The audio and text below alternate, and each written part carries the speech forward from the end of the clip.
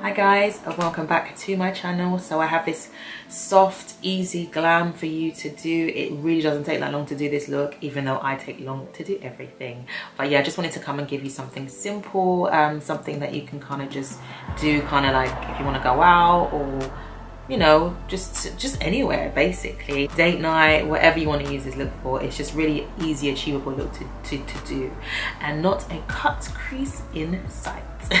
So guys i hope you enjoy this look. Um, i decided to do full face today. If i was doing anything more technical more structured and cut crease i probably would have just done one eye. Guys i hope you like this video. Don't forget to give it a thumbs up please. And please don't forget to subscribe to my channel. Yes i know it's been a long time but i'm back. I'm going to come back with more looks for you if i can when time permits me to do so. Um, in the meantime enjoy and i will see you again soon. Adios. Bye. So I like to start off with my brows. I'm just using a spoolie just to kind of just brush them up. And I'm taking the e.l.f. Cosmetics Instant Brow Lift Pencil in the color dark. And I'm just going in my brows and just filling in any sparse hairs.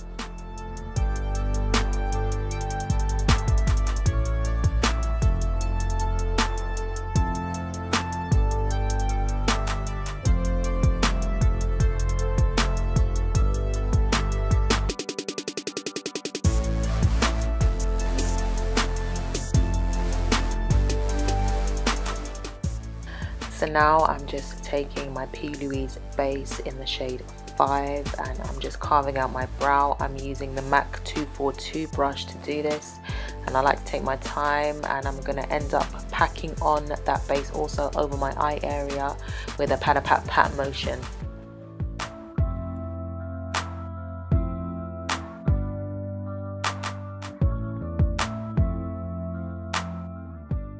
So I'm just diffusing the edges and I'm using my Anastasia Beverly Hills brush that I got with my Modern Renaissance palette to do that. So now that my base is ready, it's time to just start blending my first blend. Now I'm using the Zoeva 228 brush to do this and I'm taking the color Latte from the P. Louise palette and I'm just buffing that into my crease.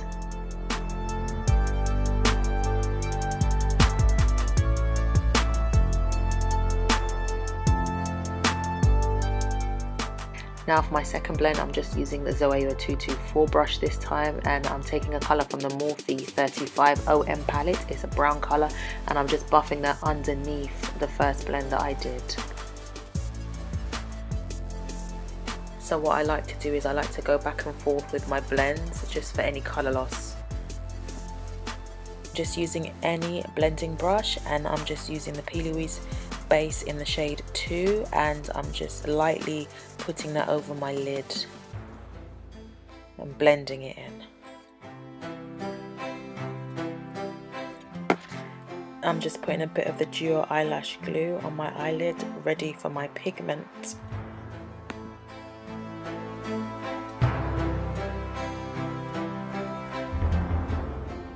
So now I'm just taking my Bare Minerals concealer brush and I'm just packing on P. Louise pigment called Icy. This pigment is so beautiful. I love it. I'm using one of my favorite pencils and this is the NYX Jumbo Pencil in Milk. I love this white liner and I'm just putting that on my lower lash line.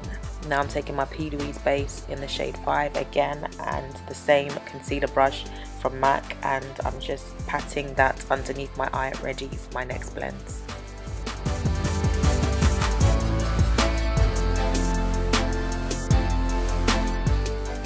So what I like to do is that I like to use my normal concealer that I use and just kind of diffuse the edges out with it. My Makeup Revolution concealer is what I'm using here and just buffing it away with my Anastasia Beverly Hills brush.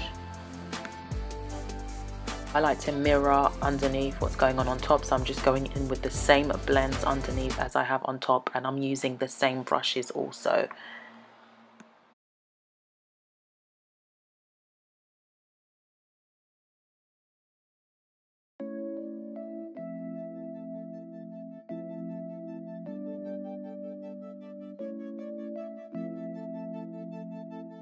So for me, no look of mine is complete without my lashes. So I'm just applying my lashes from NL Beauty. I love these lashes, they're so lovely.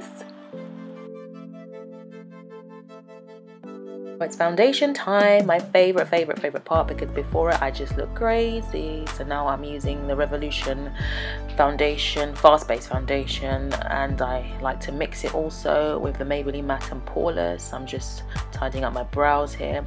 But like I said, I like to mix it with the Maybelline Matte and Poreless, and for that I'm going to be using my Real Techniques Technique brush, face brush to buff it all in.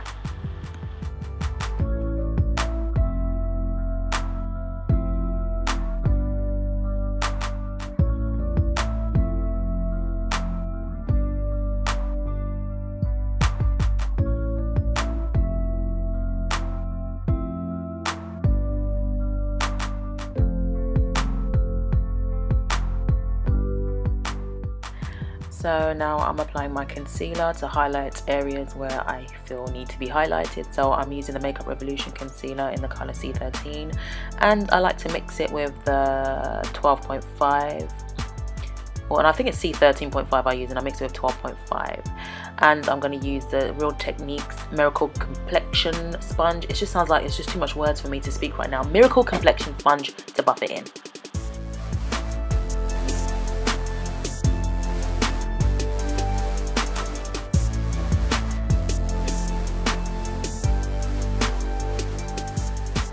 now I'm just applying RCMA powder with another Real Techniques brush and this is actually a contour brush but I like to use it to powder my face.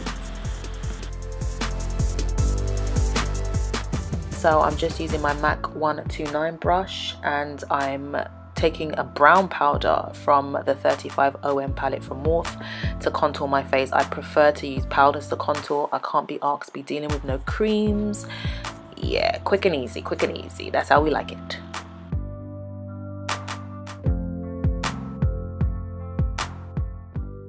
So now I'm just using another MAC brush. This is a 219 pencil brush and I'm just applying my highlighter in the inner corner of my eyes and I'm using the Master Chrome highlighter in Molten Gold from Maybelline. Applying it to my nose bridge, tip of my nose, all that good stuff. So I'm using the same highlighter for my cheeks and I'm using my MAC 184 Duo Fiber brush for this. So now it's time for the lips. Now I'm using Sleek Lip Pencil in brown and I'm going to fill this in. And then I'm going to use Ruby Kisses Liquid Lipstick in Dune and Nicka K New York Lip Gloss or Lip Gel in clear. And then we are done, finished, kaput! So I hope you enjoyed this tutorial guys and I'll see you again soon. Peace out.